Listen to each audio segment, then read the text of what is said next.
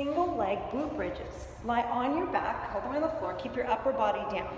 You're gonna raise one leg up, okay? So this is gonna be the leg that's just giving you a little more tension.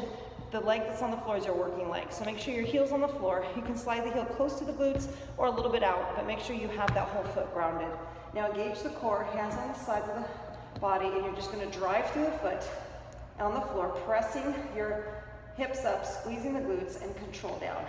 Now find where you need that foot to be. So after the first one or two reps, you can go ahead and bring that foot in around a little bit, and you're just gonna squeeze, pause, come down.